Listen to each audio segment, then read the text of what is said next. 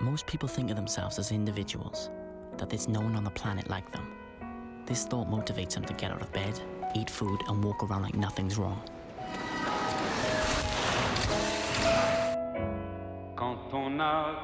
My name is Oliver Tate.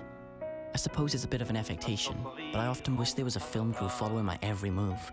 So I made a documentary about a prominent thinker who struggled with unspeakable loss. I've tried smoking a pipe, flipping coins. I've even had a brief ad phase, but nothing stuck. Mon amour, toi et moi, pour qu'éclate de joie. Your mother informs me that you have a girlfriend. Come here.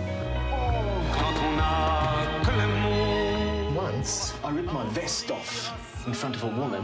It produced a very atavistic response. To us, and a wonderful evening of lovemaking. You know, you're a serial killer.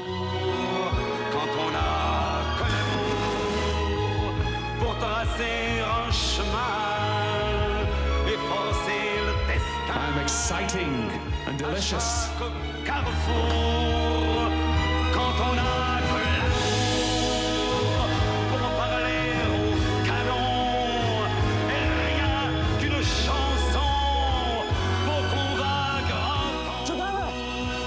Crying earlier. My eyes are probably red. They look fine. No, well, maybe they don't go red when I cry then. Le monde entier.